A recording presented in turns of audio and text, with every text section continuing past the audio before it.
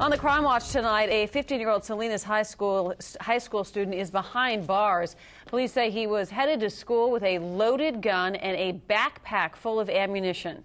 Let's go live to Action News reporter Felix Cortez in Salinas with the latest. Police don't know what that Salinas sophomore planned to do with that gun, but fortunately he was arrested before he had a chance to use that stolen gun.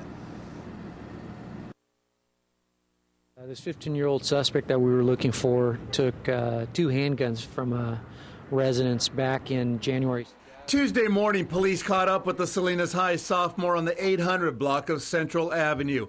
When they searched his backpack, police found one of the stolen guns, along with more than 30 rounds of ammunition. They say he was headed to school.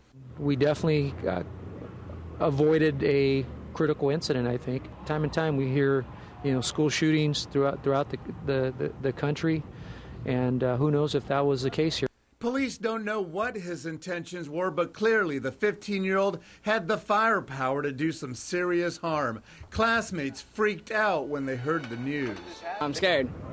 like, no, no kid should be, you know, holding a gun, especially out of school. That's, that kind of stuff freaks me out. I mean, I'm young, I want to live long, so don't shoot me. Columbine all over again. Because I, I, I don't see any reason why he would bring the gun other than to use it. That's really crazy. Police say the high school sophomore is a known gang member. Maybe he's just not right in the head. School officials say since the boy was arrested off campus, parents weren't alerted. Some students wondering whether school security should include metal detectors. Uh, metal detectors, definitely. I mean, if it's going to keep guns out of our schools and our neighborhoods, like, you know, do what you got to do.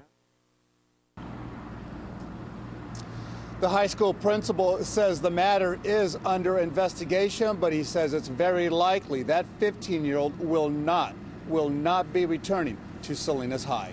Aaron, Dan. All right, Felix, thank you. Salinas police say they believe the teenager stole two guns, but at this point, he's not telling them where the other gun is.